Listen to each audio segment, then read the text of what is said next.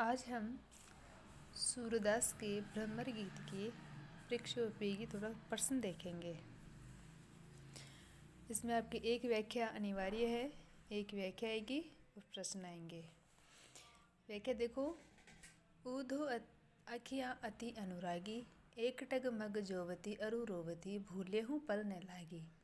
बिना पावस पावस ऋतु आई देखत विद्यमान उधो धो कहा कियो चाहत हो, छाड़ तो निरस ज्ञान।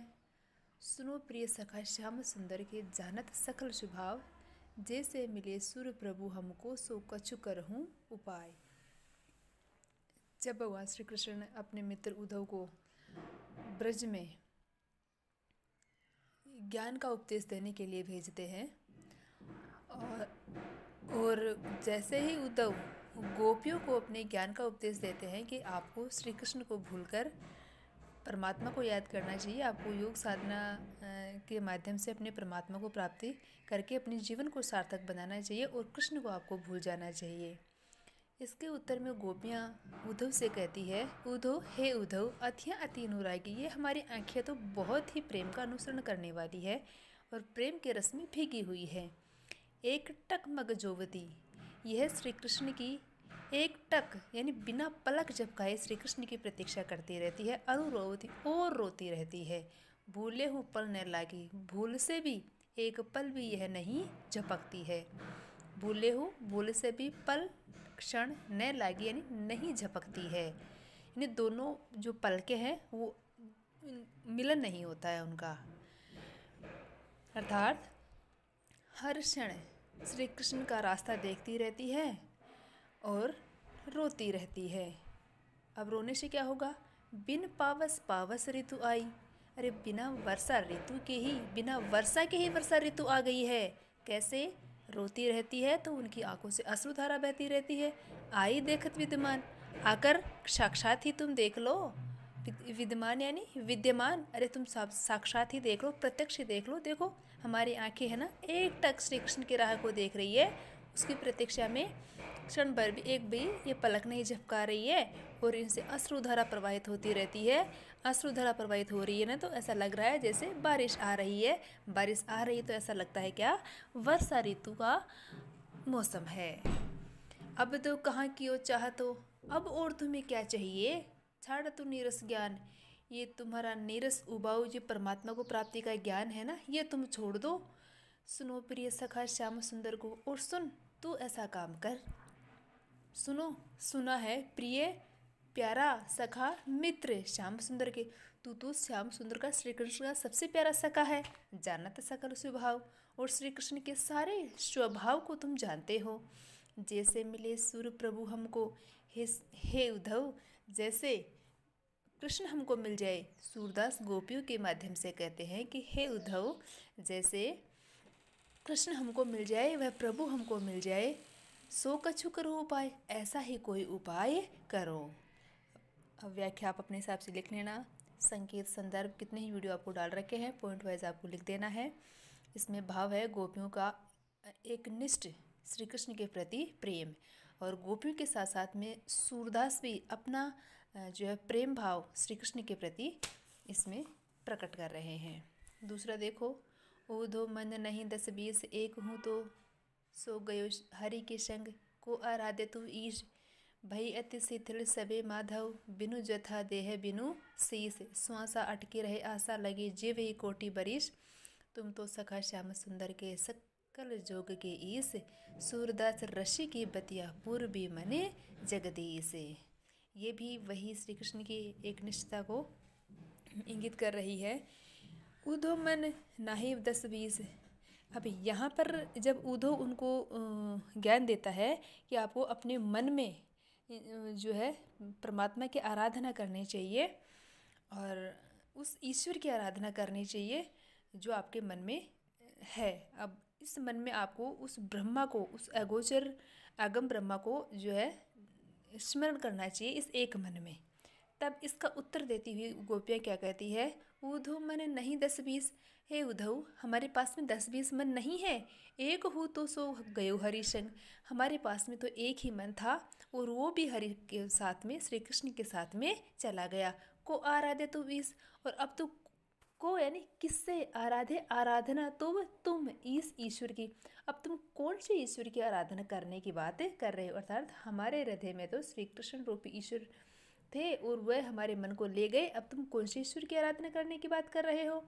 भई अति शिथिल सभी माघव, भई अति शिथिल सभी जो इंद्रिया है हमारी, वो शिथिल हो गई है। सभी माघव बिनु। देखो, ये जो कुम है, ये यहाँ नहीं लगेगा। सभी माघव बिनु यहाँ लगेगा मैं देख हूँ ऐसे कैसे आ गया, ठीक है? भाई, अति शीतल। हमारे मन की सारी इंद्रियाँ, सभी माघव बिनु, सभी माधव के बिना, श्री कृष्ण के बिना, श्री कृष्ण के बिना हमारी मन की सारी इच्छाएँ शिथिल हो गई है, शांत हो गई है। अब किस प्रकार शिथिल हो गई है? जथा जैसे देह शरीर बिनु बिना शीश यानी शीर। जैसे देह के बिना ये शीश का जो अस्तित्व है, वैसे ही हमारा, हमारी सारी इंद्रिय भी, हमारा मन भी है ना, माधव के बिना ऐसे शिथिल हो गया है। श्वासा अटकी रहे, आशा लगी। अब तो हमारी श्वास भी उसी आस पर अटकी हुई है। जी वही कोटि बरी से करोड़ों वर्षों के समान हम जी रहे हैं, उस आस पर अटकी हुई है कि श्री कृष्ण कभी हमसे मिलने के लिए आएँगे। हमारी श्वास श्री कृष्ण के मिलन की आस पर ही अटकी हुई है और हमें हर क्षण करोड़ों बरस के समान प्रतीत हो रहा है। तुम तो सखा श्याम सुंदर के, तुम तो श्री कृष्ण के सखा होना सुंदर कृष्ण के सखा होना सखल योग के इस सारे जो करने योग्य, जो काम है, उनको तुम सभी प्रकार से पहचानते हो। ईश्वर ईश्वर, ईश्वरी, सर्वज्ञ, सभी प्रकार के सभी कार्यों को जानने वाला। सूरदास ऋषि की बत्तियाँ सूरदास कहते हैं।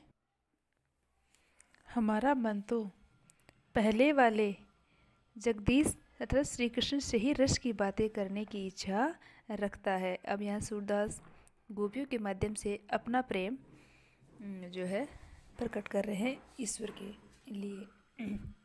आगे देखो। बिनु गोपाल बेरिन भई कुंजे, सीधा सार्थ देख लो अपन, है ना? बिनु गोपाल बेरिन भई कुंजे, बिना श्री कृष्ण के ये कुंज, ये उपवन है, वे हमें शत्रु से, बैरी से प्रतीत हो रहे हैं। तब ये लता लगती अति शीतल। जब श्री कृष्ण हमारे साथ में थे, तब तो यह लताएँ हमें सुख देने वाली शीतल प्रतीत हो लगती थी।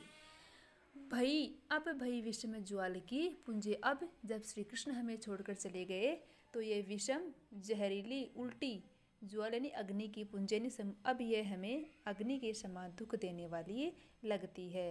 व्रथा बहती जमुना व्यर्थ में ही यह यमुना नदी बह रही है, खग बोलत।